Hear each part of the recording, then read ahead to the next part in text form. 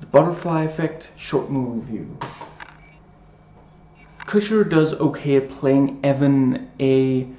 20-year-old college student who, as a child, had blackouts, especially connected to really traumatic experiences. And he realizes that he can actually go back in time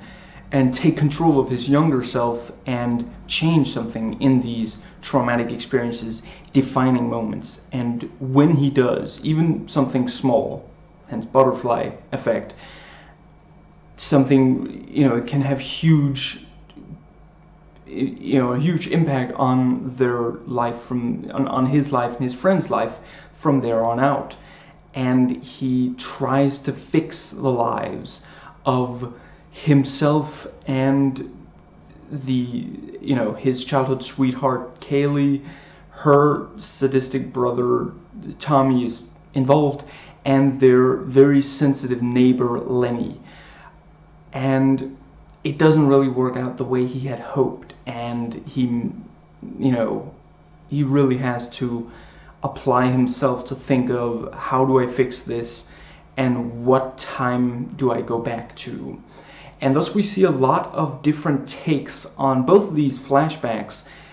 and the present day and the actors really get to flex their muscles and though Kutcher's isn't as comfortable in the more emotional scenes as he is being a wise ass, which is his normal character, he does still do okay. And Amy Smart, William Lee Scott, and Elden Henson as the adult versions of the three aforementioned characters do really well, and the casting and acting for the children and teenage actors are also great. And this is really solid character exploration and the time travel is fun and really keeps you keeps you guessing and keeps you watching intently to see what changes next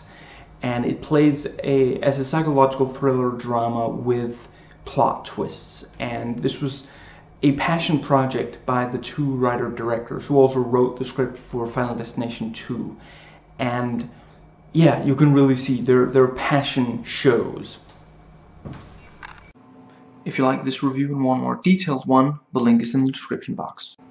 Please comment, thumbs up, and subscribe for more content.